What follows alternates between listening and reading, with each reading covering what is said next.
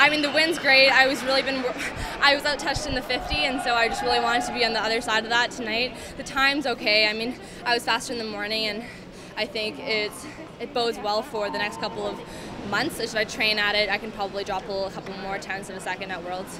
It feels really good. I just feel like a totally different person coming into this meet than I was last year. Not only because that I don't have an injury this year, but because I've grown so much as a person and I've learned so much about balancing my like being healthy and happy at the same time as performing at a really high level of swimming. So I just feel like it's really it's good redemption for me as opposed.